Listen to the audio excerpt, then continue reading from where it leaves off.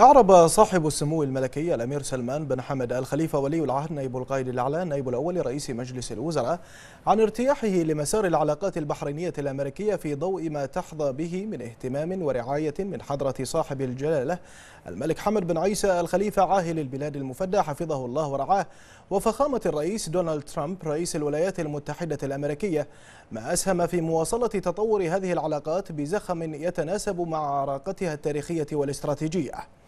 جاء ذلك لدى لقاء سموه بقصر الرفاع سعادة السيد جيمس ماتيس وزير الدفاع الأمريكي حيث رحب سموه بزيارة السيد ماتيس. مؤكدا سموه على التعاون المحوري بين مملكة البحرين والولايات المتحدة الأمريكية مشيرا سموه إلى أن التحالف والتعاون العسكري بين البلدين الصديقين قد امتد أثره وإسهامه الفاعل على المستوى الإقليمي بدعم السلام والاستقرار في الشرق الأوسط والتزامهما المشترك نحو التعاون مع الدول الشقيقة والصديقة المحبة للسلام والاستقرار